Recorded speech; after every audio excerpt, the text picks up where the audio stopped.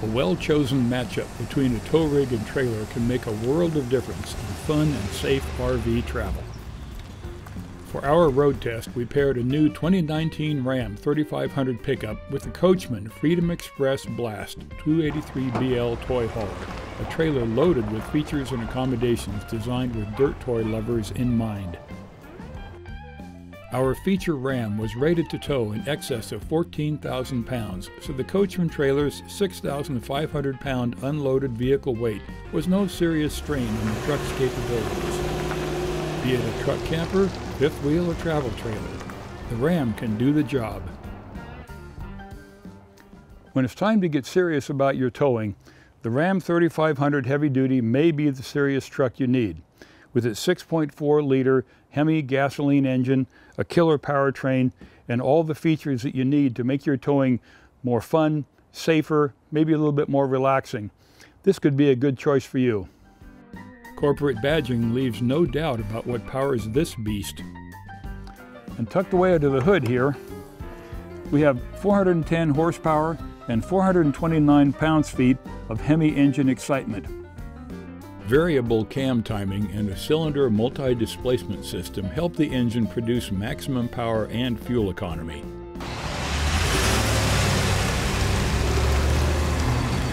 It's also very smooth running.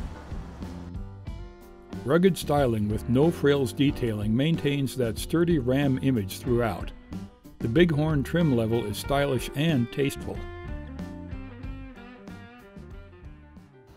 And the back end of the new Ram is just as high-tech as the rest of the truck. Down here in the bumper, you have the backup monitor sensors, which provide safe backing and parking. Center mounted here is the backup camera, and that's directly over the hitch. So when you're backing up to a trailer by yourself, you can position the ball under the hitch a lot easier thanks to the camera. Pre-wired four wire and seven wire Bargmann plugs for the trailer and if you've got a really big trailer to tow, this guy can handle 17,000 pounds plus. The optional tri-fold tonneau cover unlatches and folds back for bed loading clearance or fifth wheel trailer use.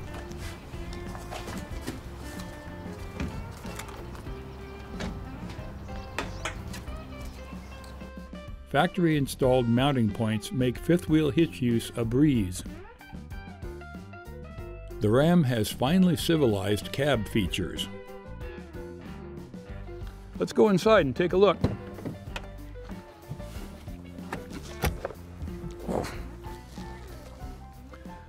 Very nice. This is the first time that I've been in a standard cab modern truck in a long time. They've grown standard cabs a lot. Plenty of legroom even for a tall guy, lots of headroom even. And this is the Bighorn trim level, which is not the, the highest trim level they have. It's a very nice, tasteful assemblage of colors. Different shades of gray on the fabric, on the material here. A little bit of polished nickel adds this touch of class. And uh, easier to see instruments. Very easy to control HVAC. Got the integrated brake control right here where you need to grab it in an emergency. Uh, all things considered, it's it's decorated and nice enough that it's it's classy and, and, and contemporary, but it's not so fancy that a serious truck guy isn't going to feel good about being in a truck like this. Clean and functional instruments are always a joy to see in a motor vehicle. The usual center stack arrangement is functional and uncomplicated. Shifting is via a rotary knob. It takes some getting used to, but it's not bad. A suitable glove box is needed for that massive owner's manual. The center console houses a handy storage organization area and flips up for three across seating. A built-in plastic storage tray behind the seats will help corral hardware that goes with the truck. The Ram's civilized at-rest demeanor continues in its natural habitat, the highway, Piloting a rig this size through a tight urban neighborhood calls for paying close attention to your surroundings. It's out on the open road that the Ram and Coachmen combo really shines. our Coachmen toy hauler was no stress for the Ram's steering, braking, and acceleration performance. Cranking a lash up this size around takes some pre-planning, like when making a U-turn.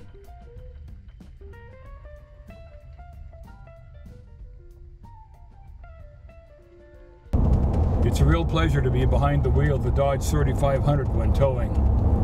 It's a good, solid platform. The suspension is ultra stable. It's really a, a good, rugged, old school style truck. And we've got a trailer on there that's not a maximum load for this particular combination, but uh, boy, it just follows down the road. It's been stable. We've been up and down around the curves here at the coast and down the valleys. Um, it's quiet. The gas engine you can hear. Uh, very little noise out of it. Transmission always picks out the right gear. It never quite lets the engine rev too high or drop too low and lug. There's the remote switches, of course, on the front and back of the, of the wheel, so you don't need to take your hands off the wheel to go and touch something and control something. It rides a bit firmly, but what do you expect? It's a 3500 series or one-ton truck. We didn't find it objectionably stiff, even for around town driving. Gusty, unexpected crosswinds produce no white knuckle anxiety when driving this setup. We'll be right back with more about the Ram 3500 truck and Coachmen toy hauler, so stay tuned.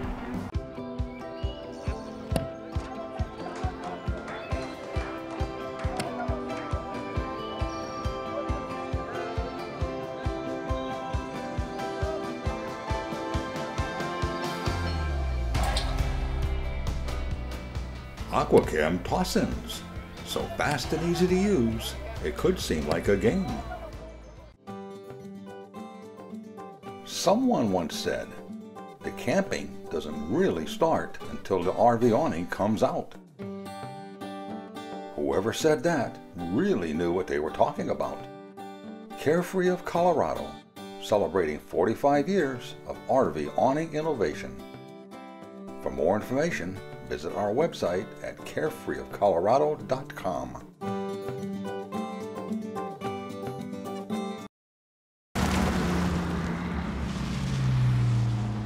Welcome back to Rollin' on TV. Toy hauler trailers are extremely popular today, and the Coachmen Freedom Express we tested with the Ram 3500 truck is a good example of that RV type. Ram did its expected good job of hauling the trailer to Riley Ranch County Park. ParkSense rear park assist helps when solo, but towing, you'll want to shut it off to avoid hearing the alarm when backing up with the trailer. These new trucks have a lot of really fun features. But one thing about today's modern pickups that I'm really a little bit puzzled about, and all the manufacturers are doing it, they're making the beds higher and higher. Now I'm about six foot six. And if I have something I want to put in the bed, like firewood, it's a reach over for someone my size. Now, if you happen to be a normal size adult, a little bit shorter, this can be quite a chore.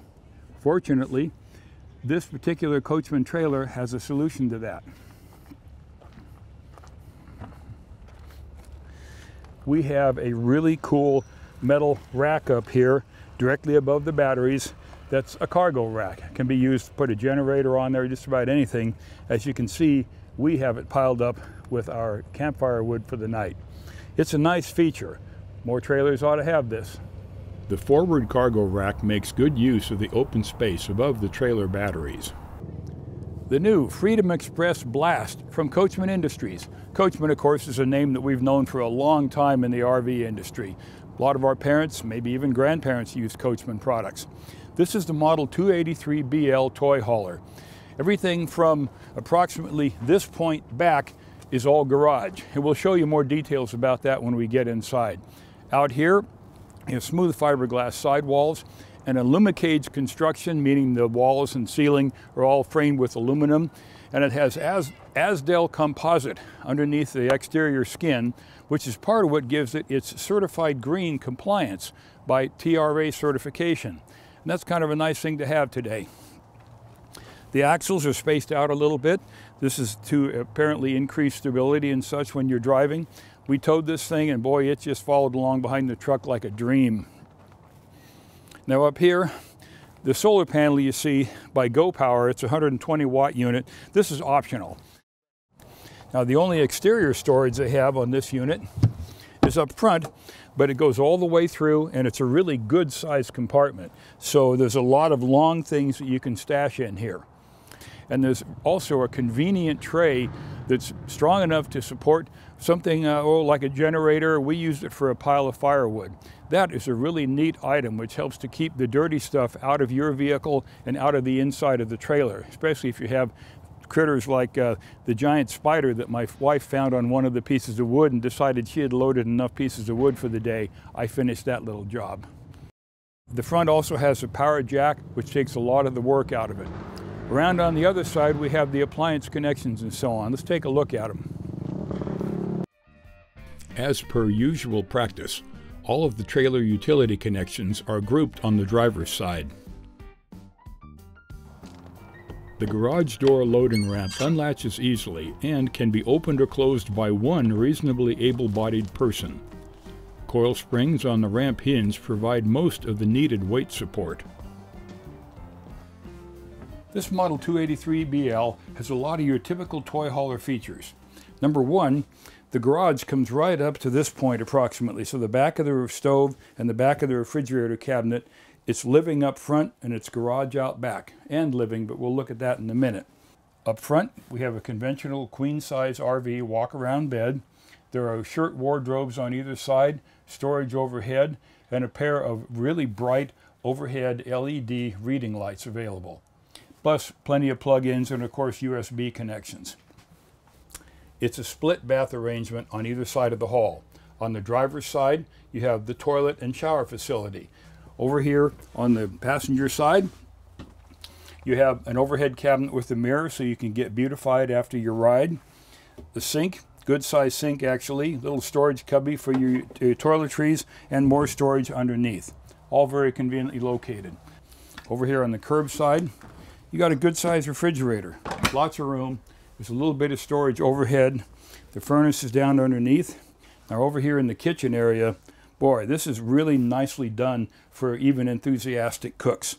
You got a really large single bowl sink. That's the kind of big sink that RVers have been asking about for a long time with a faucet that sticks out far enough that you can get things under it to clean them. The stove is a Furrion three burner with oven, which is kind of handy. Convenient flip fold glass top that works well. Furrion microwave oven overhead and an interesting variety of storage places. You got enclosed cabinets with these almost retro looking stained glass or glass finished doors and overhead cubby holes with these elastic securement nets. There's a bar stool height dinette table curbside with a great window view that folds away when not in use. With the sofa beds folded flat, there's maximum storage space in the garage. Fold the seats up and lower them and you have lots of seating space for guests. Flip the seat backs over and they make into a queen-size bed. The Lippert power mechanism lowers the main bed from the ceiling and you also have the large lower bed available. Coachmen and Lippert seriously need to supply a printed instruction manual for these operations. And when you have more people to eat than just the two that would sit at the little dinette table, you have this cool little portable table that stores in, the, in a slot in the storage compartment up front. And that becomes your additional dining space. The Ram 3500 and Coachmen Toy Hauler are an effective combination. We enjoyed our time with the trailer and truck. We think you would too. Cheers. Cheers.